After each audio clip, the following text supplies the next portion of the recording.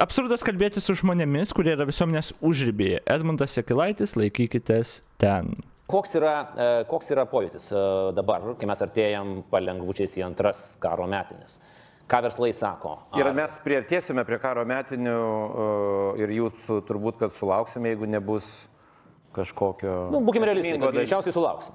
Aš turiu vieną scenarijų, toj pat sugrįžtu. Taip. Aš turiu vieną scenarijų, jau jį e, sakiau ir viešai vieną kartą, bet prieš kokius metus turbūt. Mano galva, tas Putino režimas, jisai iš tikrųjų tai yra ant, ant labai molinių kojų. Ir karas gali pasibaigti labai greitai. Ir mano scenarius yra toksai. Ukrainos kariuomenė, jeigu jiems daugmaž yra sėkmingas kontrpolimas, nežinau, jie ten užiminėja tą Melitopolį, neužiminėja, ar jį tik apsupa ir palieka, po to ten kažkaip valytis, tvarkytis, bet jeigu jie užima bent 20 procentų, 20 km, atsiprašau, Azovo jūros pakrantės ir perskelia tą mm. karinę visą grupuotę į dvi dalis, mano įsitikinimu, Kremliui perversmas. Tai jau būtų tokio lygio karinė nesėkmė, iš kurios jau jie nebeišsiviniotų. Ir tada ateitų koks nors dė, dė- vietoj dėdės valodės, ateitų dėdė koks nors kitas ir sakytų, čia jis kaltas. Aplink jį šitie dešimt, jau jie yra pasodinti į kalėjimą, jie sėdės iki gyvos galvos arba juos pakarsim, sušaudysim, paskandinsim e, e, sartyrę. E, O za- o mes geras, davaitinam našą dengi, Netikiu, kad taip atsitiktų. Man atrodo, dešimt skirtingų variantų labiau tikėtina yra negu šitas variantas, bet, nu, šiur visai galima tikėtis gerų dalykų. Pradedam uh, vėl kurti naujus santykius nuo uh, balto lapo. Taip. Jie visi blogi, jie viską Taip. sugalvoja, mes juos pazinsim kalėjimą, bet tam, kad karas pasibaigtų ir kažkoks toks panašus scenarius būtų, turėtų būti kažkokia esminė karinė pergalė. Tai man atrodo, jeigu ten vėl atkovojus ar Marijupolį, ar šiaip išėjus į tokį didelį ruožą prie Zovo jūros, aš prognozuočiau, uh, Nu, tu pakankamai optimistiškai prognozuoji. Aha. jie nėra tokie tvirti, kaip, kaip gali atrodyti. Aš tai dar matau tam scenariui, žinai, e, kuris, jo, galimas yra atsirastas e, santykių kūrimas nuo balto lapo, kad po baltų lapų bus vis tiek padėta direktyva, kaip mums sustiprinti savo kariuomenę ir pasiruošti antram užėjimui. Žinoma. kartą mes jau tokių klaidų nebepadarysim ir gal daugiau paimsim negu per pirmą. Taip, taip, praeis dar kokie 15-20 metų po šito karo tikiuosi pralaimėjimo iš Rusijos pusės ir kas nors panašaus, jiegi kitaip nebūna. Mm. Grįžkim prie, Taip. prie mūsų požiūrio dabar. Ar tu jauti, kad, e, kad verslai gal sako, kad, žiūrėk, mes jau, nu, mes nepavargom, bet mes jau daug, nu, daug investavom, mes jau daug paskyrėm. Nes, žinai, vienas dalykas. Um, aš nepamenu, kas tą pasakojo, aš dabar, jo, nepamenu, kuris vienas iš tų tiesiog žmonių, kur apie karą jie šneka ten, e, pasakojo, kad atrodo ar antram, ar pirmam, ar visuose karuose, tai būna, kad ten būna tas e, nejudėjimas iš vietos iš esmės, kur abi pusės, nu, tarsi stovi vietoje ir tos teritorijos labai labai mažai keičiasi. Ir viena pusė, kur vat agresyviai, vis stuksena, stuksena, žinai, stuksena ir atrodo, mėnesis iš mėnesio ten, nu, vos juda, vos juda į priekį, vos juda į priekį. Ir tada staigus lūžis. Tipo, tam fronto linijoje įgės ir tas staigus lūžis. Ir subyra visa fronto linija iš esmės ir tada didžiulis proveržis ir realiai labai labai greitai, tipo, istoriškai atsitikdavo, kad, nu, atrodo, niekas niekada nejuda, nejuda, nejuda ir tada tiesiog viskas subyra. Problema, kaip aš dabar suprantu, čia yra tai masyvus minų laukai. Kad jeigu tu tą, net jeigu tu tą proveržį padarai, tu vis tiek negali į priekį judėti. Tai, aš nežinau, man tas visą laiką įdomu, kiek realu šitam atveju yra. Ir kaip aš dabar suprantu, nu čia grinai, ukriniečiai paskutinį mėnesį, kiek du mėnesius tiesiog dronais atakuoja, ten viską atakuoja logistinius dalykus.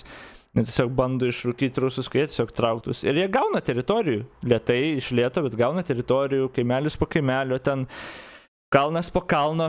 Bet jo, aš neįsivaizduoju, ar įmanomas tas didelis proveržis. Nebent ten kažkur jau giliau fronte nebėra tų tokių minų laukų, kuriem, nu, rusai buvo ypatingai pasiruošę. Nu, ir tipo, nu, nes neminos ten, kur jie patys vaikšto, žinai.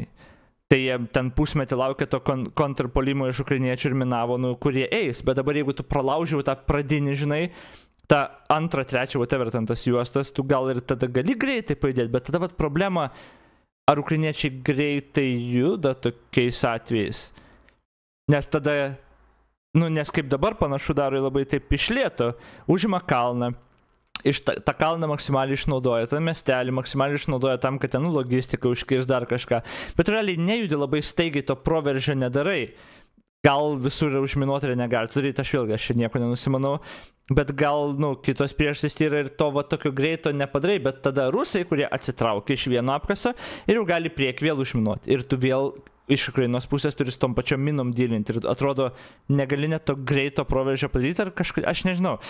Čia aš girdėjau tų teorijų, kaip tie visi karybos ekspertai kalba ir panašiai. Atrodo, nežinau. Nežinau, ar įmanomas tas greitas proveržis, nebent tai yra grinas tas suirutė nu, iš logistinės pusės, nu, kur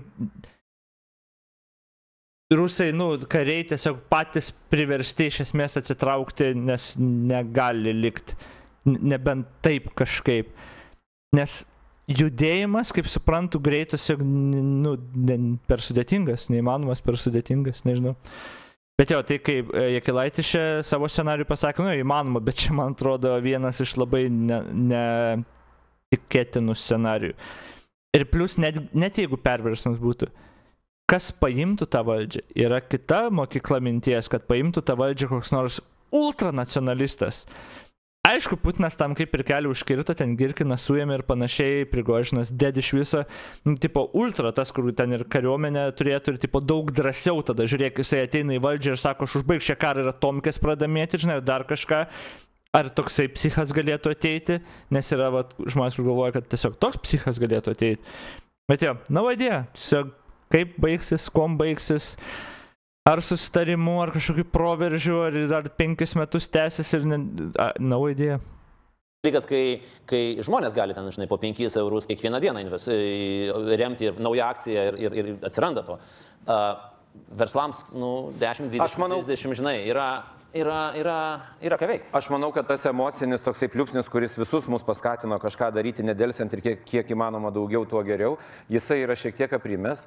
Dabar yra, na, tokia testinė nuotaika, kai tu kiekvieną dieną girdi beveik tą patį per žinias, kiekvieną dieną tą patį perskaitai, na, oro pavojai trijose regionuose, ten trys mergaitės, keturi berniukai, bendrabutį mm. pataikė, tiltą sugriovė, e, pataikė į mokyklą arba ligoninę, nieko nestebina, nes tai vyksta, vyksta kiekvieną dieną, taip, e, prie tos informacijos gali priprasti, turbūt, kad paramos yra mažiau, mes renkam irgi taip spontaniškai, mes dabar savo iniciatyvą įgyvendinom, pinigų nerenkam, turim idėjų, ką darytumėm toliau ir beje, kalbant apie kažkokias didesnės iniciatyvas, e, galima būtų, manau, kad E, kažką, kažką sugalvoti ir turime keletą idėjų, kurios galėtų būti, na, ne tiek į kariuomenę, bet į, į tokią humanitarinę misiją or, e, orientuotas. Bet grįžtant prie klausimo esmės, e, ar verslas pavarksta, man atrodo, pats laikas yra, verslui yra maži, mažiau stabilus, daugiau neapibrieštumo, pats laikmetis dabar mm. toksai, pasižiūrėkime, aišku, tas šokas, kuris buvo su elektros ten dujų ir taip toliau kainom praėjo, bet jeigu pasižiūrėtumėm dabar e, nekilnojamo turto rinkos situaciją, investicijų situaciją, taupimo, mm. žmonės pradėjo vėl esmingai taupyti, e, vien dėl to, kad jiems atrodo, kad ateina neapibrieštas laikotarpis, kada truks e, stabilumo, galima kalbėti apie recesiją ar bent jau kažkokią stagnaciją.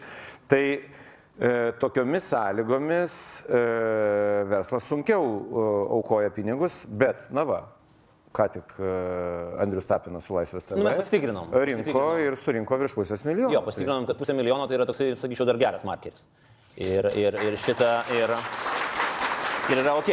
Kitas momentas, kiek tu esi pastebėjęs arba asmeniškai per, per savo organizaciją patyręs, nu, mes matom tokia labai sustiprėjusią pastaraisiais mėnesiais nuoseklę kampaniją, kad reikia diskredituoti. By any means mhm. possible. Uh, visas organizacijas, ne, kurios užsiminėja parama. Jeigu labai konspiratoriškai mąstysi, tai čia ženklas, kad rusam labai skauda.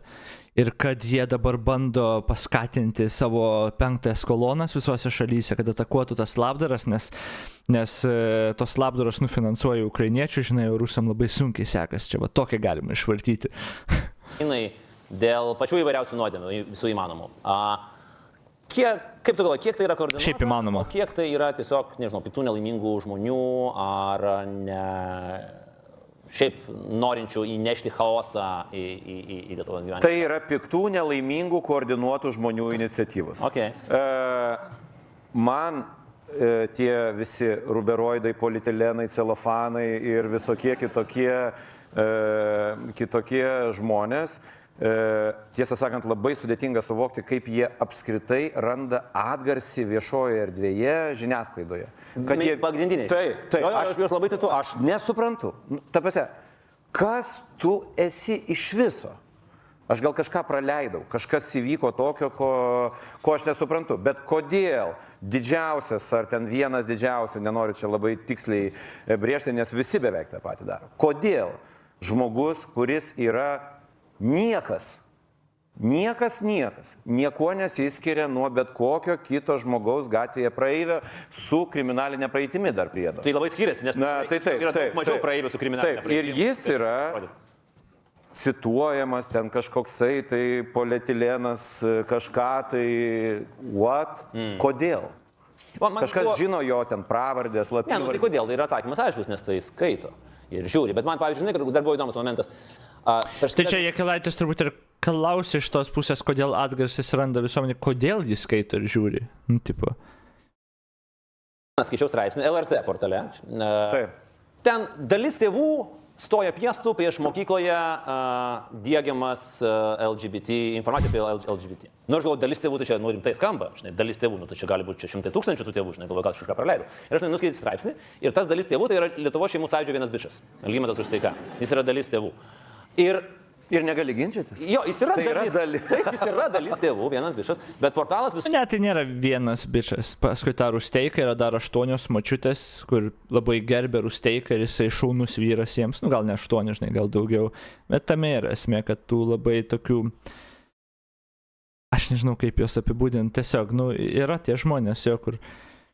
Ir Facebook komentarus parašys. Kiekvieną kartą, kai aš pasižiūriu, kai gaunu ten YouTube komentarą, nu kur visiškai net nerišlus komentaras, nu tu matai ir tada pasižiūri, kokia ten e, Jonutė, neringa vardai, įsijungi profilį, vardas pavardė, YouTube'ės profilį parašyta, tipo, ten Facebook'e parašo kažką, tai yra šiam plus metų mačiutė tiesiog. Ir kartais dėdukas praplikęs, koks senas jau, kur visiškai tokie. Va tokie žmonės, kur prie Rusą buvo geriau jiems, jie visiškai klūlas yra ir tiesiog jie vat, palaikys ir Rusteiką, nes jie nesupranta nieko, kas vyksta. Tiesiog nieko, kas vyksta. Jie nebuvo išmokyti nieko, jie užaugo neturėdami jokių technologijų, jokio prieimo prie kažkokio kritinio mąstymo pamokos, ar iš vis suvokimo net kas tas yra. Jiem tas ir nereikėjo gyvenime, Jiem to ir nereikėjo gyvenime, nes taigi eini dirbti darbą ir net negalvoji apie tokius dalykus, nes, nu, e, toj sovietinio švietimo tave ir nemoko mąstyti apie dalykus. Tu nemastyk, tu klausyk ir viskas, ir daryk, kas tau liepta. Tai aš nežinau, tai va tokie.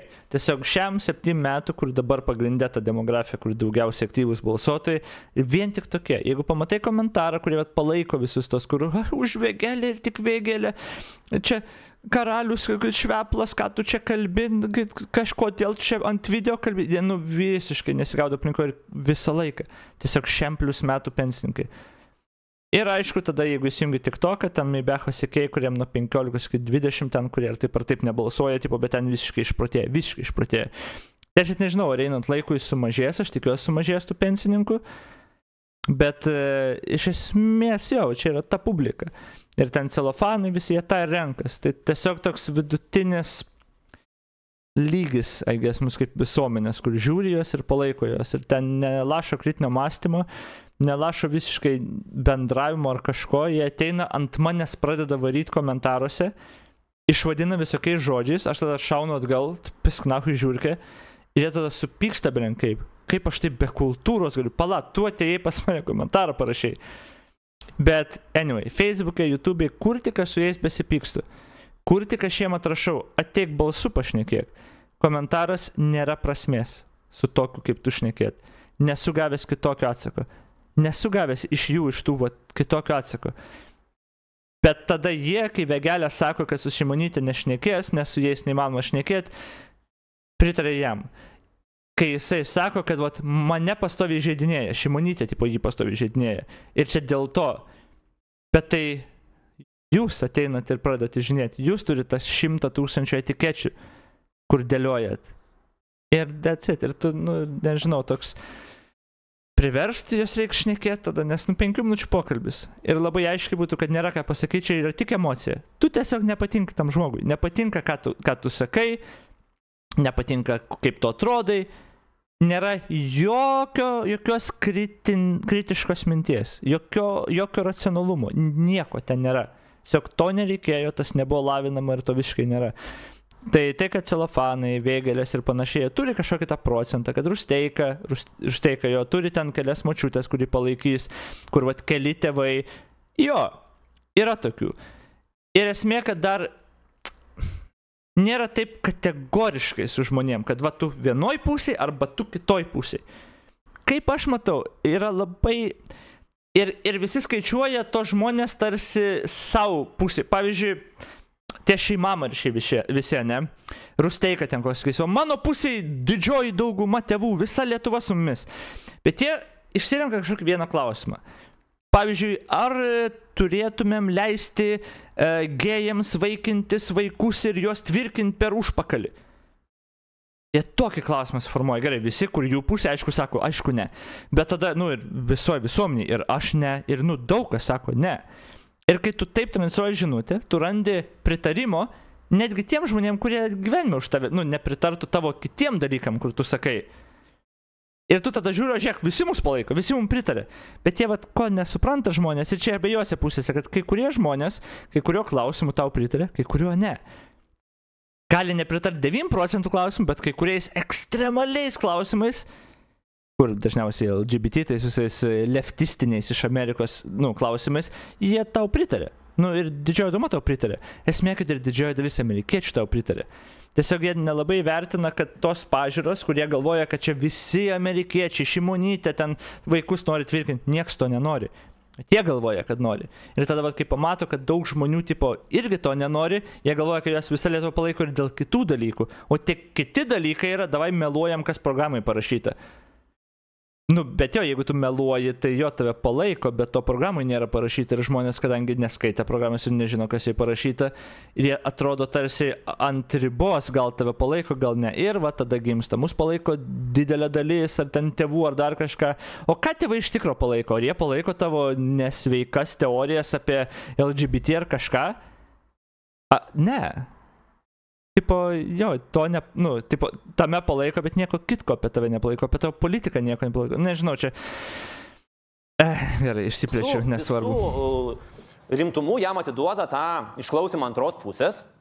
Ir čia aš galvoju, čia ir mes turim problemą. Palauk, kaip čia? Lygimetas užsteika. Užsteika. Ir Ir negali ginčytis. Jo, jis yra Tai yra dalis. dalis. Taip, jis yra dalis tėvų, vienas bišas, bet portalas visų, visų uh, rimtumų jam atiduoda tą išklausimą antros pusės. Ir čia aš galvoju, čia ir mes turim problemą su išklausimo antros pusės žurnalistikoje, ar mes čia neturim problemos. Ir mes gal lipam kad- į galvą. Nes, žinai, man patiko viena, viena frazė, dabar tu, tu, tikrai, žinai, aš neatsimenu, kas jie pasakė, bet sako, kad jeigu tu nori sužinoti, koks oras, tau nereikia rinkti dviejų nuomonių, kuris vienas sako, kad lyja, kitas sako, kad nelietų. Pažiūrėk, fucking pro langą. E, tai, bet kaip tu galvoji? Aš galvoju, kad e, viskas turbūt remia. Na, kai aš suprantu tą analogiją, bet o jeigu tu nori žinoti kitą miestę, koks oras. Ir dan, ir viskas, nebeveikia, čia tame problema yra. Ką žmogus, nu, ir visų pirma, pažiūrėk, kad pro langas, nežinai, kas už namo tavo tada yra, nes gali už namų lyti. Nu, jo, aš suprantu, ką norėjau pasakyti, bet tame yra problema. E, čia apie tą temą vėl gerai. E, Ar reikia išklausyti antrą pusę? Taip reikia. Problema nėra su tai, kad antra pusė, ta kita pusė ar kita nuomonė turi būti. Čia viskas yra gerai. Yra problema, kaip mes priemam ir kaip mes atsirenkam, kas yra teisybė, kas ne. Jeigu mes edukuosim žmonės, išmoksim juos mąstyti, me, jie toliau galės išklausyti tą antrą pusę ir labai aiškiai pasvers, okei, okay, šitie argumentai aš girdžiu jas, jie yra nelogiški, neveikia, šitie yra teisingesni. Ir viskas. Kadangi tas vat, procesas yra gan silpnas Lietuvoje. Nu, ir daug kur, bet Lietuvoje dar atsiliekam greičiausiai biškai. O čia klausimas yra tikrai, bet, nu, gan silpnas. Čia va iš to kyla problemos. Bet tas niekada nebuvo lavinta. Tas niekas ne, niekada nebuvo paaiškinta. Netgi per tokias laidas niekada nėra paaiškinta. Aš nežinau, kada Laisvės TV savo žiūrovom ar savo jauniems žiūrovom aiškino, kas yra kritinis mąstymas, kaip tai veikia, kas yra ten tie visi episteminiai burbulai, kaučemberiai ir panašiai kas iš vis su kuo tai valgoma. Nu, tipo, tai yra tokios nišinės edukacinės laidos, kur gal mokslas arba padaro, kur 2000 arba ten 10 tūkstančių peržiūrą surinka ir viskas. Bet apie tai, jeigu edukuoti, plačiau šnekėti, gal tu ir gali tą visuomenę pamokyti, kaip iš tikrųjų reikia priimti, ką sako ir kaip reikia kad tas, iš, nes dabar tarsi, tarsi čia baime, kad kitos nuomonės išklausimas kažkaip kelia pavojų, nes ta kita nuomonė patiki žmonės ir, nu, neturi kaip atsakyti ir tai dalina žmonės, o realiai neturėtų taip visiškai būti.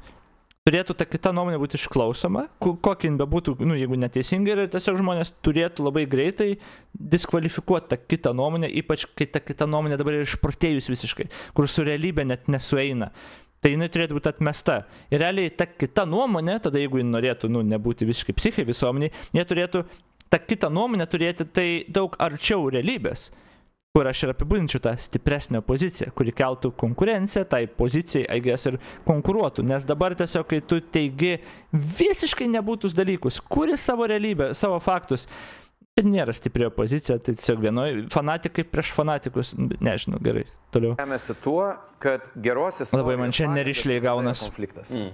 Ir jeigu tu nori kažką, kažką sudominti didesnę visuomenės dalį, kažkokia tai tema, tu bandai ieškoti na, žmo, žmonių, kurie pasisako. Bet prieš dalykus, kurie iš vis yra savaime suvo, suprantami, gali kalbėti tik idiotas. Tai jeigu tu jauti poreikį tokį, na, žurnalistinį ar kokį ten kitokį, kad e, tu būtinai akivaizdžiam dalykui, kad žmonės Lietuvoje turėtų būti mokomi skaityti ir rašyti mokykloje, bet tu gal gali surasti žmogų, kuris sakytų, Nereikia, kad visi mokėtų skaityti rašyti. Tikrai tai? Ir tikrai jis turėtų argumentų. Aš... Ir tai tikrai galėtų turėti kažkokį... Kažkaip matom, ką daro žmonės, kurie moka skaityti ir rašyti. Geriau no. nemokėtų. Geriau nemokėtų. Tai, tai, štai, tai, prašau. Ir... Pratęs kiek įlaitį? Gal tu gali surasti visiškai idiotą, kad jisai galėtų tai pasakyti. Tai čia irgi lygiai tas, tas pats. Gerai. Jeigu tu, na, švietimo sistemoje vaikam neaiškinsi, koks įvairi, įvairus ir daugialypis yra šitas pasaulis. Kokie, kad žmonių skirtingumas okay. daro šitą pasaulį e, nuostabiu. Tai taip, tu gali to neaiškinti, bet tu nesuteiksi žmonėm tiesiog fundamentalių žinių ir net supratimo. Aišku, jie ir taip viską supras, e, bet bet kuriu atveju tai yra tiesiog pareiga. Tai jeigu tu rašai straipsnį apie tai ir, pasi, ir kažkokį E, išprotėjusi maršistą e, kalbinį, tai na, turbūt jisai ir yra vienintelis, kuris nebijo arba drįsta viešai kalbėti, nes žmonės, kurie yra sveiko proto, ar bent nori kitų akise atrodyti esantys sveiko proto, jie garsiai nesakys, kad e, negalima vaikams sakyti, kad yra LGBTQ žmonės, nes jų nėra. Jų nėra Lietuvoje. Kaip tarybų Gerai, problema yra su to, ir čia su visko, ką jis sako, kur aš matau problemą. Yra viena iš tų te teorijų tokių kaip nuomonių, kodėl buvo, pažiūrėjau, trumpas išrinktas.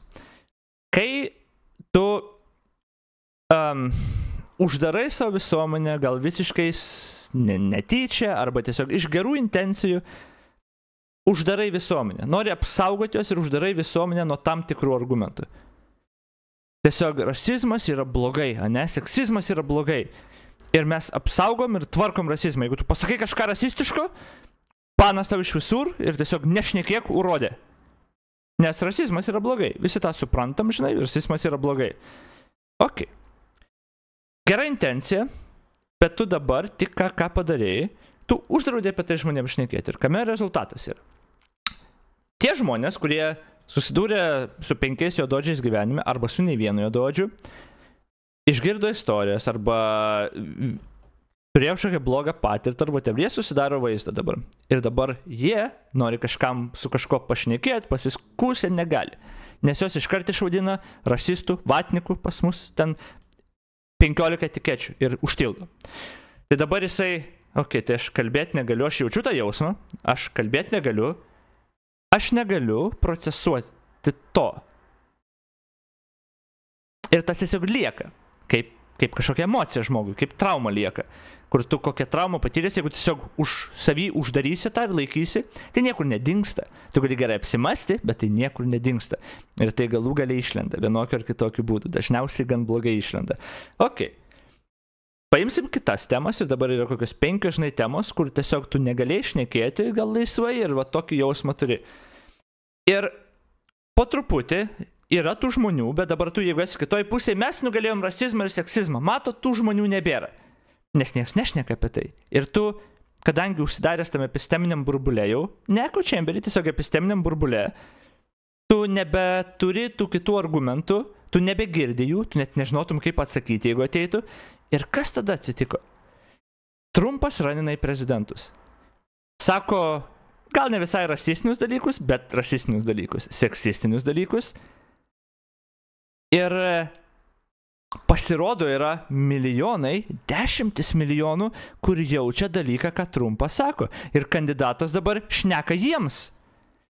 Ir Amerika staiga nustebo, kaip čia, mes kai nugalėjom rasizmą, seksizmą ir melus, kaip čia Trumpas gali iš vis žmonės rinkti. Tu tiesiog uždarai save į tą episteminį burbulą ir tu nežinojai, kad yra daug žmonių, nes tu neleidai jiems šnekėti. Ir tu negali pamatuoti, kiek iš tikrųjų yra, kokie argumentai iš tikrųjų yra. Ir tada, kai pradėjo šnekėti žmonės ir trumpas, pradeda pasako kažką rasistiško arba seksistiško, tas žmogus, kuris nebuvo girdėjęs net to argumentų, nes vėlgi prisiminkit, kalbėti apie tai nebuvo galima, tipo, nu, čia aš hiperbolizuoju gal biškai, bet jisai neturi ką jam atsakyti. Tai dabar jis neturi gero argumento, kaip atsakyti, jie turi. Tai dabar atrodo, jie teisesni yra, jie jaučiasi teisūs. Va, mes čia atėjom ir jie mums neturi ką atsakyti, jie mums tiesiog vatnikais rasistais vadino, argumentų nedresuoja. Ir trumpas laimi. Ir tada visuomenė žiauriai pasidalinus. Tai nėra geras dalykas. Tada Kanye Westas ateina. Pasako holokaustas, ten, kaip čia netoks buvo, Hitleris nieko blogo nepadarė. Kadangi tai yra tokia tabų tema ir niekas nežino net ką atsakyti, iš tikrųjų žmonės net nežino kaip atsakyti, jį vadina nacijų ir panašiai, okei, okay, nežino kaip atsakyti jam, nes 20 metų niekas nešnekėjo apie tai, nu, niekas, nu, net, tu net negali išgirsti to argumento, tipo, Dabar tai nereiškia, kad mes kiekvieną šeštadienį turim turėti laidą su plokščia žemė, su Hitlerio sekėjų, su... Nu, tai nereiškia to. Bet turim turėti sveiką dietą argumentų. Subalansuotą dietą, kad turim juos išgirsti. Ir ne tai, kad kaip pas mus, vat, Urbonaitė, pažiūrėjau, tą naują laidą padarė, kur, tarkim, pasikviečia ir tu interviu paėmė. Ne interviu imti reikia. Vat gal to labiausiai trūksta, ko žmonės nepadaro. Ne interviu reikia imti, o reikia debatus, diskusijas turėti. Kad mes ir lavintumėm tą žmonės, bet tada gerai, jeigu kažkas ateis ir kažką sakys, mes turim jiem duoti prieš priešą, parodyti gerai, čia yra tavo argumentai, bet yra argumentai, kurie prieštarauja. Ir dabar tas žmogus irgi galbūt turės argumentą, kuris paprieštaraus tam argumentui, bet galų gale, jeigu tu esi teisus ir tu esi teisybės pusėje ir tavo pasaulyje yra geresnė, tavo argumentai tiesiog nugalės. Jie bus bent vienu lygiu aukščiau. Žinai, jeigu tu pasakysi vieną, jis pasakys kitą, tu pasakysi kitą atsakymą, galų gale, jeigu tavo argumentai yra stipresni, tas žmogus nebeturės atsakymo. Nes, nu, tu negali, nu, nebent pradės kurtaigės, belenkas, nu, bet tada, jeigu visuomenė, tu, tu prisijaukinai tą visuomenę ir išmokai, ka, nu, kaip reikia mąstyti, jie mato, kai tas kuria nesąmonės ir plokščia žemė tik, kur jau visiškai argumentų nebėra ten ar net nesupranta, kas vyksta. Ir tada tu turi visuomenę, kuri tavęs nenustebins. Jo, bus žmonių, kurie vis tiek palaikys ir rasizmą, ir Hitlerį, ir Vėgelį, ir dar kažką, kur tiesiog tai yra antiek fundamentaliai kitaip mąstantys žmonės, kur nu tu jų nepakeis nuomonės. Bet tu žinosi, kiek jų yra. Kita visuomenės dalis bus išgirdus argumentus ir palaikys tavo pusę ne dėl to, kad tu užtildai kitą pusę, o dėl to, kad jie išgirdo argumentus ir racionaliai priejo sprendimo, okei, okay, šitie argumentai yra tragedija, šitas pasaulyje žiūrė yra tragedija, šita yra daug geresnė. Ir dabar tu stovint tvirtų kojų. O ne tada, kai tu nežinai, kad pusė tavo populacijos pasirodo yra biški rasistai, galbūt biški meksikiečių nekenčia ir ateina trumpas, tada iš niekur laimi, susirenka visą tą bazę, nežinau, kiek jų yra. Va čia yra, kur aš matau tokias problemas tam, tam nebendravime. Norėjime, kad su, su jais nėra ko šnekėti ir panašiai. I don't know. Ir aš, aš nežinau, ar realybėj mano scenarius ir mano veiktų pasaulio planas. Iš principo filosofiškai turėtų veikti, turėtų daug geriau veikti. Bet gali būti, kad realybėj yra tiesiog diktatūra, kur šimtą kart geriau veikia. Kur tu tiesiog užtildai actually žmonės, kontroliuoji kaip Kinė kažką, su kamerom viską, gal tai iš tikrųjų daug geriau veikia, nes žmogus gal iš prigimties yra tiesiog idiotas. I don't know. I don't know. Aš nežinau, kaip didžiuliu mastu visuomenė iš tikrųjų veiktų. Man atrodo, taip kaip aš matau, kaip reikia. Man atrodo, kad tas, kur aš apmanau kelias, yra vienintelis, kur mes galim kažką solidaus padaryti.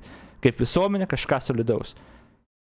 Man atrodo, diktatūra vienu ar kitu atveju, ta opresija tiesiog neveikia. Man atrodo, žmogus iš prigimties nenori visai laisvu būti, bet nori laisvu būti. Reikia struktūros, ta, ta nelaisvė, aš vadinu, tiesiog struktūros kažkas reikia, tos hierarchijos galbiškai ir panašiai. Bet kiek aš matau, vėlgi su mano limituotom istorijomis žiniom, kad um, opresija tiesiog niekad neveikia. Vienu ar kitu būdu kažkaip išlenda istoriškai. Kažkaip žmonės linksta ir link tos laisvės eina. Nežinau, bet jo, čia gal išsiplėčiau, bet čia tas argumentas gal labai ilgas išplėstas, kaip aš matau, kodėl žudbūt reikia. Ne interviu imti iš tų žmonių, bet šnekėti ir, jo, okei. Okay. Так, у нас секса нету. Pas mus sekso nėra. Buvo toksai šūkis. Buvo Tarybų to jie ten teisinosi, kad jie mm, juos iš konteksto ištraukė, nes sakė, pas mus yra meilė. Taip, pas, tai va. Tai aš manau, kad na, idiotų kalbinimas nebūtinai e, nedaro žmonių, kurie, tai, kurie juos kalbina, irgi idiotais. Ok, e, ar tu, kur tu brėži brūkšnį ties pašnekovais, kurių tu nebekviesi? T- e, Nenorim, nu, tu tu jų nekviesi, tiesiog tau. Visiškas, na, užribis tu gali suprasti, e, kad tie, pirmiausia, žmogus turėtų, na, kažką atstovauti, man atrodo. Jeigu tu jį kvieti, tai gerai, partija. turėtų partiją, kompetenciją. E, kaž... Beje, jisai taip puikiai gali taip mąstyti, nes jisai yra didelis žmogus, nu ir jis nerandom alkoholiką iš gatvės kalbins. Tipo, aš kadangi nesu didelis, aš kalbinu, žinai, kas tik nori su manim šnekėti realiai ir ten jų argumentai dažniausiai būna tupiausi, bet, pažiūrėjau, nu, mane pastatytų su labai geru ten kažkokiu istoriniu vatniku, žinai. Aš neturiu tiesiog istorinių žinių, todėl jau, nu, reiktų aukštesnį ir kad prieš išnekėtų, kad turėtų tų argumentų. Bet jis gali kviestis tos, kur partijų lyderiai, ten celofaną, kad ir, kuris turi savo partiją, tarkim, atstovauja 5000 Lietuvos rinkėjų, whatever. Ne tik, kad atstovauja, bet, nu, jį palaiko. Tiek, tarkim. Jau tokį jis turėtų kviestis. Ir esmė dar yra tas, kad prieš tuos mažesnius būtų daug lengviau laimėti. Ir būtų daug lengviau parodyti, kokie iš tikrųjų tūpi yra. Tame yra esmė.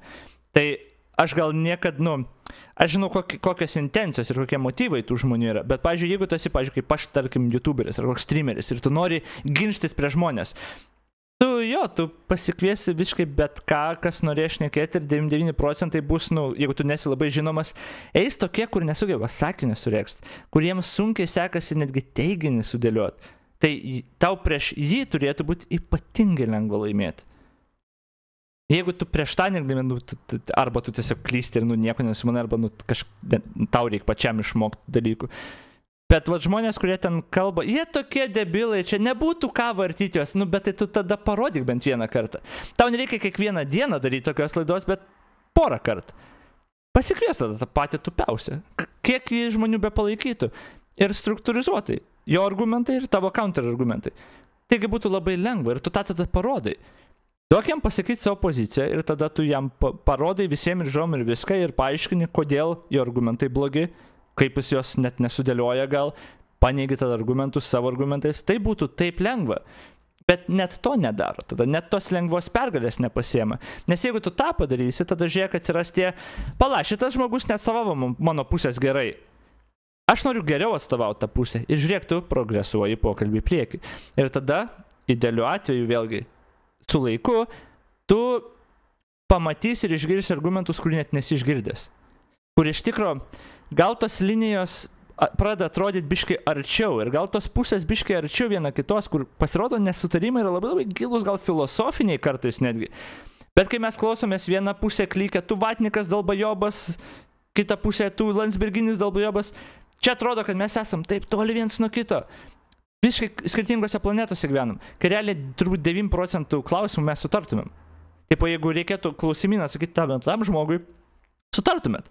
Ar norit, kad maisto turėtumėt? Jo, ar norit, kad maisto kainos būtų galbūt pigesnės, ar norit, kad Lietuva būtų saugi iš tipo. Ir tu pradėtum gal ir gilesnius klausimus klausinėti, jūs sutarėt ten 95 procentai. Norit būti laisvi, norit gyventi, norit viską patirti, viską jūs tą patį norit. Bet tada vat, atrodo vienu klausimu ten ar politinė kažkokia tema jūs... Ne. Tai Bet to niekad nebus, tie protingesni niekur neteis, jeigu tu neturėjai nei vieno pokalbio tipo, tokio, tip, tokio žanro. Anyway. kažkokį... Turim dabar partijos lyderį. De, nu, gerai, nebūtinai partijos lyderis. Partijos lyderis čia dar dar... A, ir dar pridursiu, ir dar pridursiu. Ta pasakius, mes nesam skolingi niekam savo laiko ir niekas nėra skolingas mums savo laiko. Aš tikrai nesu kiekvienu turiu elgtis nuostabiai ir ne kiekvieną turiu gerbti. Ateina kažkoks žmogus mane minėdu išvadina, pašaltų nahui. Aš netau laiko gaišiu nei kažką. Tu vis dar gali ateiti pas mane šnekėti, bet tu tik ką nustatei toną. Kitas žmogus gal daugiau kantrybės turės empatijos tau ir jis į tavo keiksmažus atsakys mandagiai. Bet nieks neprivalo to daryti. Ir tu neturi jaustis, kad tu, e, kad jeigu su tavim, ne, kad su tavim turi kažkas pagarbiai šnekėti. Niekas nėra tau skolingas su pagarba, su tam ten ypatinga šnekėti. Ar kažką, ypač jeigu tu taip karštai ateini. Tai čia gal to nereikia pamiršti, kad... Uh, Pavyzdžiui, aš neku su žmonėm ir kas nori realiai ateit gali šnekėti, tikrai bus, kur aš tiesiog užbaninsiu, kur man nepatinka, kaip išneka, arba man per daug energijos reikalauja. Tai nereiškia, kad aš, nu, hipokritas patampu, nes va, jisai nešneka, ne, aš neku, tiesiog aš nesu visais privalau šnekėti. Ir aš ne kiekvienam privalau pagarbai, jos nesu kiekvienu privalau kultūringai šnekėti ir niekas to neprivalo daryti. Mes esam laisvi negerbti kito žmogaus, tiesiog jeigu jis su mumis kažkaip durnai šneka ar mums nepatinka kaip šneka. Anyway, gerai. Tai aš vėl norėčiau pamatyti, kaip Pekilaitis tas pats, arba bet kas kitas tiesiog pasikviečia tą kokį žemaitaitį. Ir ginčias. Gerai, tu pasakai tą ir tą ir tą. Faktiškai. Pateikit faktus, argumentus. Gal paaiškės, kad žemaitaitis tam tikrais klausimais iš tikrųjų turi kažkokią loginę koją ant ko sėdėti, bet tada kitais klausimais jis tiesiog visiškai nieko nesimano apie nieką arba tiesiog meluoja. Galbūt paaiškės, kad vienas iš jų nemoka visiškai argumentuoti ir diskus, diskutuoti. Nu, tipo, bet aš noriu tą pamatyti. Dabar mes to nematom ir iš tikrųjų žmonės galbūt net nežino, kuris iš tikrųjų yra teisus. Ir dauguma net nežino, kaip žinoti, kuris yra teisus. Bet vėlgi čia ateiname tą pirmą mano rantą, kad reikia iš tikrųjų mokyti žmonės to, kaip atskirti tokius dalykus ir kaip kalbėti. Gerai, dabaigiam šitą video. Okay. Jeigu žmogus, nu, žinoma, kad tu gali kviesti partijų lyderius, diskutuoti ten ir taip toliau, jeigu čia kažkokios leg, legitimiai veikiančios politinės organizacijos vyksta Nu, gerai, čia konkurencinė kova. Celofano, rinkimai. celofano partija mes Lietuva bus, nu, Taip. Greit- gali būti, kad bus net Gali būti, kad tai registruota, taip. Tai bus kažkoks sąlyčio taškas. Jeigu aš vesiu oficialius debatus. Ne, ne, ne, neoficialiu, aš kalbu apie tavo laidą, kur tu esi. Kad Oficialus debatai geriau yra- pažinčiau celofaną. Aš nežinau, aš tiesiog klausiu, kur Ar kad yra, visuomenė- Nes, pavyzdžiui, aš turiu, tarkim, jeigu reikėtų, vat, sakykim, aktualijas, rimto, rimtos interviu daryti, nu labai aiškus pas mane brūkšnys yra. Pas tavai yra tas brūkšnys, vat, kuris ar pa, ne. Nes čia toksai, žinai, subtilus dalykas. Nes, Aš neįsivaizduoju, kad aš galėčiau su šitais minimais asmenimis apie kažką kalbėti e, rimtai ir apskritai, kad galėčiau kalbėti, nes jie, jie, jie nėra jokio mano įsivaizdavimo statuso, kad visuomenė Čia yra ta arogancija, kurie kalba. Bet čia yra tas pats. Su jais net neverta šnekėti, ką aš girdžiu ev every time. Su manim neverta net šnekėti, nes jie galvoja, kad aš per tūpas ir ką jisai sako, nu man net nėra su jais ką šnekėti. Aš neįsivaizduoju, apie ką aš galėčiau su tais žmonėms šnekėti, nes jie tokie tūpi. Tau nereikia apie kažką šnekėti. Tau reikia parodyti, kodėl jo argumentai yra klaidingi. Tau nereikia su tuo žmogum bendrą kalbą rasti arba netgi su jo draugu būti. Ką tau, vėlgi čia ką aš norėčiau, kaip aš galvoju, ką tau reikia padaryti, tai visuomeniai parodyti argumentus ir tada paaiškinti, kodėl tie argumentai yra blogi. That's it, viskas, ką tau reikia daryti. Tas žmogus, jis net nesvarbu, kas jis. Svarbu, kad pasakytų tos argumentus. O tie veikėjai, kurie, kurie turi sekėjus, jie dažniausiai turi tos argumentus, kur tie jų sekėjai pritarė. Tau ko reikia iš jų tik, tik argumentų. Tau nereikia jų gyvenimo pamokų, filosofinių pamokų ar dar kažko. Jūs neturit apie kažką šnekėti, kaip su tapinu šnekat. Tu net visiškai yra realu, kad Jekilaitis yra šimtą kartų protingesnis už fucking celofaną. Visiškai realu yra. Bet tau nereikia e, e, nu, lygintis, nu, ar iš tos pusės nežiūrėti. Tau reikia visuomeniai parodyti argumentus ir tada parodyti, kad tavo argumentai yra geresni ir kodėl jie geresni. That's it. Visuomenė turėtų klausytis televizijoje ir internete e, visuotinai pasiekiamai kažkokio žmogaus sapnininko. Nu, kodėl? Nes ar aš turėsiu atsakyti už tą, kažkokį, už tą nuodą, kažkokį, kuris klis iš ekrano? Ar... Jo, jo, atsak, va tas ir yra. Išgirdo argumentus, tu atsakyk ir tada tu nebenuodas kleidi, o pliusas kleidi. Po I don't know. iš telefono ekrano ar dar kažko. Manau, kad tai yra absurdas e, kalbėti su žmonėmis, kurie yra tiesiog na, visuomenės užrybyje. E, Jeigu kažkada pasikeis kažkokios aplinkybės, jeigu tie žmonės taps teisėti kažkokių tai kitų žmonių atstovai, mm. Taip, na, tai jų statusas, šoks socialinis, visuomeninis, valstybinis bus toksai, kad jie juos gali kviesti ir, ir, ir diskusija su juo. Na nu, gerai, kitas pavyzdys, kuris Taip. galbūt netoks drastiškas. Taip. Bet, e, nes tu esi pasakęs, kad tau keista, kad Igna Vėgelė žmonės, kalb... E, ne žmonės, e, žiniasklaida kalbina neteisiniais klausimais. Taip. Nu, pavyzdžiui, va dabar, kai bus, kai jisai paskelbs, kad jisai kandidatuoja į prezidentus. Aš manau, kad tvarkoju tada. Taip, taip. Taip, taip. Okay. taip, aš manau, kad jis jau dabar, būdamas prezident, potencialių kandidatų į prezidentus antroje reitingo pozicijoje. Jo, incomingai, bet tai, va, jo, aš manau, kad visa šita arogancija pas juos yra dėl to, kad by default visi tos atmatos nurašomi, nes tarsi visi supranta, kad su jais kalb, kalbant tiesiog būtų non-stop dabautizmas. Jo, bet tada prieš tokį tau būtų labai lengva parodyti, kad tai žmogus nedekvatus. Jeigu paaiškini publikai, kas yra votabautizmas ir tada parodai, pademonstruoji, kad jisai jokį klausimą tau neatsakė. Nu, tipo, okei. Okay. Nu, tai yra tikslas. Ir tada sekantis pašnekovas ateis tas, kuris votapautizmu nebeužsiminės. Nu, tipo, ir tada tu prieini jau prie argumentų, kur gal yra kažkokie klausimai, kur mes turim kitaip bendrauti apie tos klausimus, o ne taip, kaip dabar yra bendraujama. Pavyzdžiui, su to tikru vatniku, kai išnekėjom, buvo pora argumentų, kol aš vis supratau, ką jisai daro ir kaip jisai kalba ir panašiai. Bet buvo nauda ir visiems buvo nauda, nes ir dabar aš užduočiau keletą klausimų. Aš, man atrodo, aš visai nemažai tų uh, ultrapatriotų laisvės TV žiūrovų aš suvartyčiau iš vatniko argumentų pusės.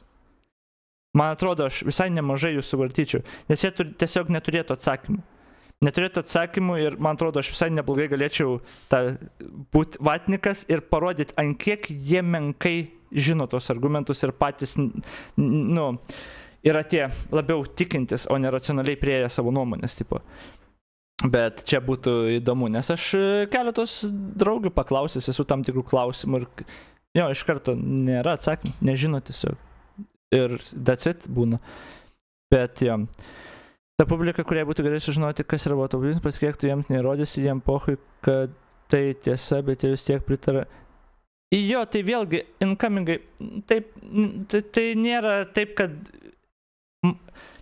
kai kuriems žmonėms, jo, kai kuriems žmonėms tu niekada nieko neįrodysi, bet mes turim link to eiti, nes man atrodo, didelę dalį žmonių tu actually gali pastumti biškiuką, tu gali link centro pastumti biškiuką. Ne visus tikrai ne, kai kurie jau žlugė, bet kai kuriuos gali. Nes kokia alternatyva yra? Jeigu tipo alternatyva yra tiesiog tu to nedarai viso ir jie tiesiog radikalizuojas. Į vieną arba į kitą stovyklą nueina ir tada tu daunas, tu daunas, tu daunas, tu daunas, tu autistas, tu vatnikas ir viskas. Čia ne alternatyva man, tipo. A, nu, tipo, jo, visi suprantam, kodėl jie nenori šnekėti, tipo, jo, aš sakau, kad neturėtų tai būti, tipo, jo. Ne, ne, yra, dabar, dabar. Jau jis dabar akivaizdu yra e, tam socialinėme visuomeninėme statuse, kuris žinoma, kad e, okay. leidžia jam kalbėti ne vien teisiniais klausimais. Taip, pradžioje atrodė tai keista prieš keletą metų mm. per COVID, kad jisai kalbėdavo apie mediciną, yeah. ten dar what. Bet uh, dabar jau jo statusas yra toksai, žinoma, jis yra na, tikrai akivaizdu, visuomenės veikėjas, uh, ketinantis turbūt, kad tapti politiku. Aš manau, kad neišvengiama, kad... Jūs pasakėte, kad beveik nebemato galimybių. Nebemato, gali, beveik nemato galimybių nekandidatuoti. Ne. Čia reikia tai, dar tokią pauzelę paimti, nes supras, ką jis nori. Nebematau galimybių nekandidatuoti. Na. Okay. Tu minėjai, kad kai grįžai į, į eterį TV3 jūsų dėmesio centre, kad... Jau... Žinok, švenčinienė arba kokį jūraitį užtektų, man atrodo, vieno pokalbio, nes ten yra viskas dugnas, jo, ten, man atrodo, žemiau jų mes negalim rasti. Taip, užtektų kokio vieno pokalbio, net nežinau, ar nuo jų reiktų pradėti, bet tiesiog. Ne Jekilaitis. Jekilaitis gali aukštesnio gal statuso pasikviesti, kur irgi bus toks pat išprotėjęs, žinai, bet, nu, tipo, kad daugiau akių turi. Aš nežinau. Bet, tipo, jos vieno pokalbio, man atrodo, užtektų. Nu, ir tu aiškiai galėtum, tipo, pademonstruoti. kit, nu ir, aš, I don't know. Čia vėl. Ar Jekilaitis turėtų, turėtų tą daryti, nu jis nieko neprivalo daryti, ko nenori, sure, bet aš norėčiau pamatyti, kaip ir tą patį Juraitį, kaip ir tą patį, pavyzdžiui, gerai, uh, Jekilaitis prieš Vėgelę. Jekilaitis nepasirodė labai gerai, by the way. Kai Vėgelė iškelia klausimą, kas parašyta programai, Jekilaitis neturėjo atsako. Dabar, jeigu Jekilaitis turėtų antrą pokalbį su Vėgelė apie tos pačius dalykus, tikiu, kad būtų daug geriau pasiruošęs. Visų pirma, žinotų, kad gerai, programai tas nėra parašyta. Tu ištrauki iš tokio ir tokio teksto, kuris skirtas mokytojams, ne programai. Kodėl tu klaidini žmonės? Bet Vat kas, kas vyksta, kad tuos argumentus dažnai būna žmonės pirmą kartą išgirsta, kaip ir mano visi pokalbiai buvo. Pirmą kartą su Vatniku, pirmą kartą su plokščia žemė. Tu nežinai tiksliai, kaip bendrauji, tu nežinai jo argumentų, kokius jis sakys, bet jeigu antrą kartą man reikia šnekėti, aš daug geriau pasiruošęs. Ir tu biškai pasidomi tais argumentais, kur jie atnešė, pavyzdžiui, vėgelės atveju programuose parašyta apie oralinių tos e, prezervatyvų karpimą. Dabar tu į antrą pokalbį tu jau žinosi, kad to nėra programai, tu žinai, kaip tą argumentą atsakyti. Ir tu realiai gali labai lengvai tą argumentą neutralizuoti ir jis dabar turi kitką sakyti. E, ta daktarė suvartė vegelę ten, bet Jekilaitis to techniškai nepadarė, o ką labai galėjo pasakyti, palauk, tu ne daktaras, kodėl tu dalini medicininius patarimus? Esmė, kad jeigu tu nori argumentais nugalėti žmonės, tos tu pats turi tobulėti vis geriau ir geriau. Nes Jekilaitis prieš Vėgelę nepasirodė labai gerai. Vėgelė pasirodė tragiškai, jeigu tu klausais labai, prieš priešas pamatai jo žodžiuose arba paskui daktarį suvarto, bet ne pats Jekilaitis. Jekilaitis maždaug ėmė interviu, vienoje kitoje vietoje jam gal paprieštaravo, bet tie argumentai nebuvo labai stiprus. Todėl visai nemaža dalis žmonių mato Vėgelę kaip, nu, jis visai normaliai eigas atstovėjo, čia jį bandė vatvartyti, okei, okay, bet niekas nepaaiškino, kodėl Vėgelė ten, nu, ne daktaras, iš kuris ištraukė, kad ten visiškai pamelavo dėl tam tikrų dalykų. To nebuvo paaiškinimo, to nebuvo pasakyta. Antrą kartą kalbėtų, būtų. Tai va, man patinka va, tas procesas. Tas argumentų šlifavimas iš abiejų pusių. Nes tu vieno pokalbio metu tu labai greit pamatai, visų pirma, išgirdai argumentus, kuriuos atsinešė, kurių tu savo episteminiam burbulė net negirdėjai gal, kaip man buvo su vatniku, kad kai šnekėjom, arba aš net negirdėjau jų tų argumentų kai kurių. Bet tu pasiskaitai, pasidomi, okei, okay, tu dabar turi atsakai jiems ir kitą kartą, kai ateina, viskas. Jie per penkias minutės viskas, dropina tą argumentą ir jie dabar turi geresnius atsinešti. Ir tas vat, argumentų šlifavimas, po biški, per daug pokalbių, per daug diskusijų. Abi pusės tampa stipresnės ir geresnės savo argumentuose iš tos pusės, kad žino, kurie argumentai yra blogi, kurios strategijos neveikia, ten votabautizmai ir panašiai. Ir galų gale lieka tik geresni argumentai. Ir tada žiūrėk, kai lieka jau po penkto debato geresni argumentai, aišku, dažniausiai keisis ir svečiai vis tie protingesni ateis. Žiūrėk, jūs jau nesate taip toli vienas nuo kito pozicijai. Jūs priartėjot nuo parašių, dabar jūs ginčiatės dėl filosofinių arba subjektyvių dalykų. Kas jau yra, nu, pilnas, arčiausiai kiek žmonės skirtingai gali prieiti. Tipo, tame yra dalykas. Kad nežinau, nuo ko reikia pradėti, bet galima ir nuo tų visų visiškų psichų pradėti.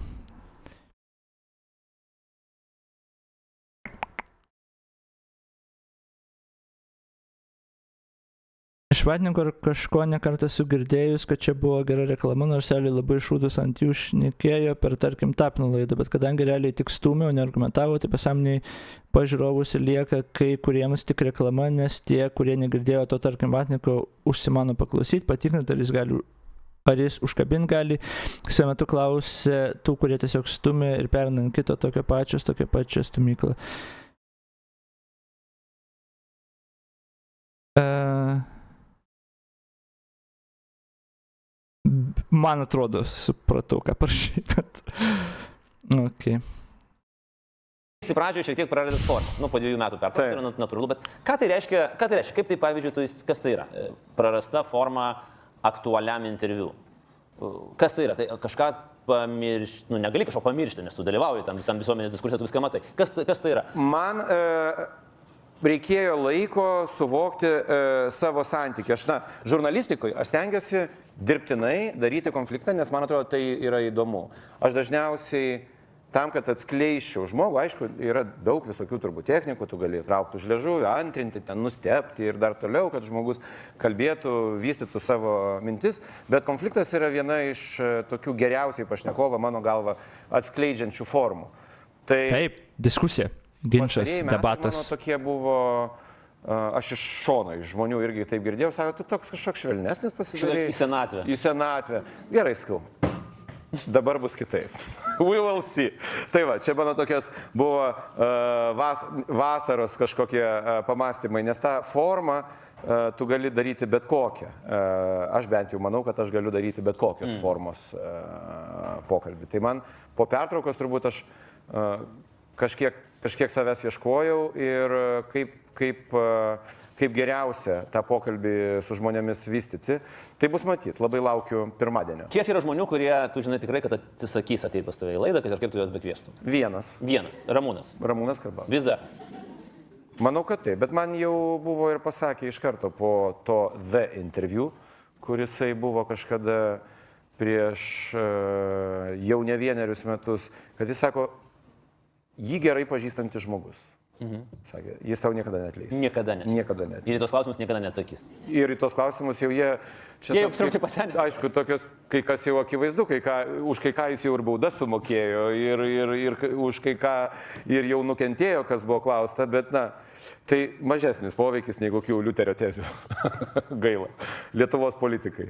Uh, Prieš išeidamas į, į breiką labai aišku buvo, aš pasižiūrėjau, koks, kokios buvo temos pagrindinės e, dėmesio centre, tai buvo aišku vyriausybės krizė, e, čekiukai ir aišku karas, karas Ukraina. Ką tu prognozuoji, kokias temas tu matai, pavyzdžiui, per artimiausius tris mėnesius? Kas galvoj jau tau developinasi kaip kažkoks testinis galbūt naratyvas? E, Testinio nematau, išskyrus patį procesą, kad po naujų metų jau bus raudona erdvė visa nuo į, į, į, į įsiaudrinimo. Mhm. Bus daug visokių debatų, aš pats galvoju visokių dalykų, kuriuos... Dabar beje, kai klauso 1,2 greičių, aš net nebūčiau pasakęs, kad čia pagreitintai. Antiek pripratau. Tai e, darysiu, bet jau po naujų metų. O iki naujų metų man atrodo, kad vis dėlto karas bus pagrindinė tema ir čia nieko nepadarysi. Karas, e, daug čia ir tokių nuvilnyjusių ir Lietuvoje momentų, ar čia ministras kalba per daug ar per mažai. Ar, čia, ar tikrai mums reikia tankų?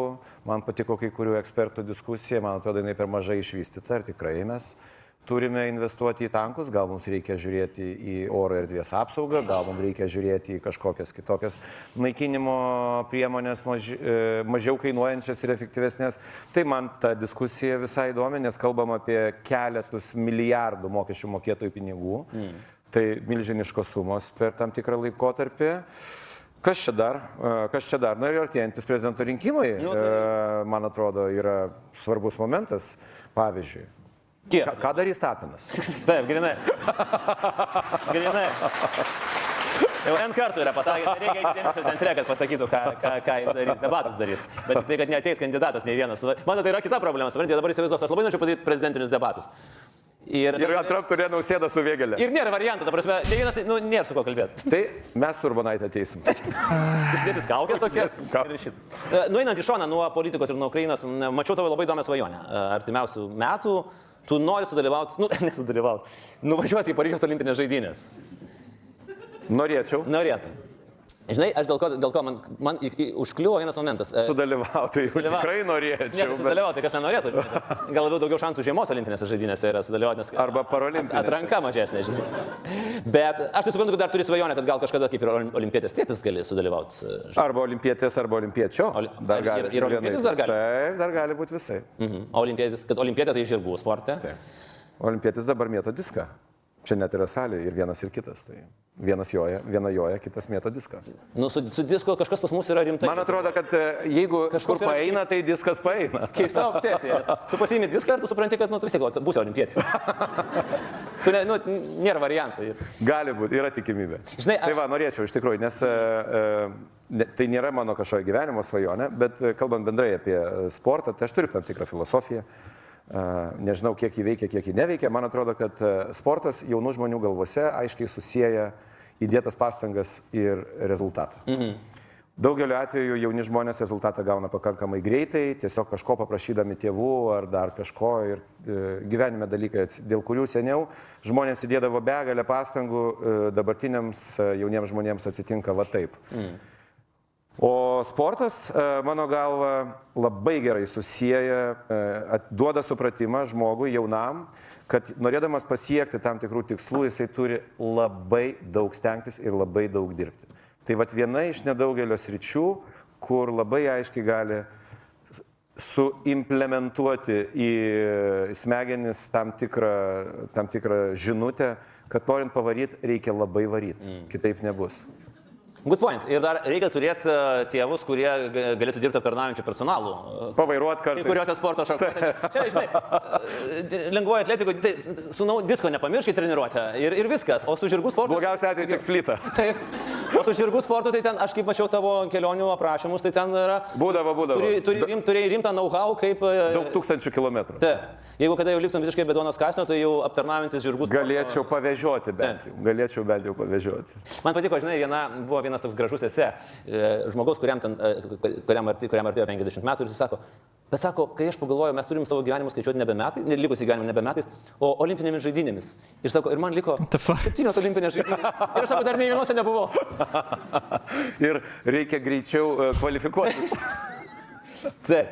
Kažkada tas vienas iš tokių paskaičiavimų, kuris gan liūdnas tipo buvo, kur sako, dažnai vėliau gyvenime, nu, žmonės būna situacijose, kur savo, pažiūrėjau, ten tėvus ar, sen, nu, tarkim, tėvus, nu, sutinka porą kart metuose. Nu, per kokį gimtadienį ir per gal kalėdą, žinai. Nu, porą kart metuose. Labai dažnai tokiu atveju būna. Ir tas sako, nu tai vidutiniškai paskaičiuokit, kiek liko susitikimų. Nu ir ten gerai, nu tarkim 20 metų, nu tai realiai ten, žinai, 30 susitikimų lieka. Nu, tai buvo tokia perspektyva, man kažkaip tokia liūdnesnė pasirodė, kad, kad iš tikrųjų jo ten su tėvais tai susitinka, jeigu metuose kartą, ten buvo atvejis, kai aš ten kas porą metų susitikdavau, nu, tipo, o tai liko gal dešimt kartų dar, tipo, susitiksim. Nu, bet, ne, ja, toks. Gerai, paskutinis klausimas, Edma, tu minėjai apie... Mortality, eh. Aš kalbu ne apie brolius ir seses, aš kalbu apie nacionalinę ekspediciją. Taip. Paskutinioji didžioji nacionalinė ekspedicija. Didžiausia iš visų. Didžiausia iš visų.